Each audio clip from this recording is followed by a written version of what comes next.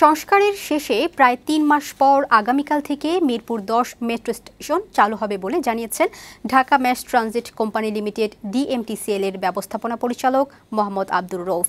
সোমবার বিকেলে ডিএমটিসিএল এর উত্তরা ডিপোতে সংবাদ সম্মেলনে কথা জানান তিনি। ডিএমটিসিএল এর ব্যবস্থাপনা পরিচালক জানান, মঙ্গলবার সকাল থেকেই যাত্রীরা মেট্রো রেলের মিরপুর দশ স্টেশন ব্যবহার করতে পারবেন। তিনি বলেন, এখন থেকে শুক্রবার এক ট্রেন থেকে আরেক ট্রেন ছাড়ার সময় বারো মিনিট থেকে দুই মিনিট কমিয়ে দশ মিনিট করা হয়েছে। শুক্রবারের জন্য বাড়ানো হয়েছে ট্রিপের সংখ্যাও। দুই মাস সাতাশ দিন পর বন্ধ হওয়ার আমরা আগামীকাল চালু করতে যাচ্ছি। আমরা কিন্তু কোনো কন্ট্রাক্টরের সহযোগিতা নেই নেই কাজটি করার সময়। এবং কোনো বিদেশি কনসালটেন্টের সহযোগিতা আমাদের টিম ডিএমটিসিএল এর যে লোকবল আছে, কারিগরি টিম তারা নিজস্ব নিজেরা সময় দিয়ে শ্রম দিয়ে বুদ্ধি করে এই জিনিসগুলো আমরা করেছি।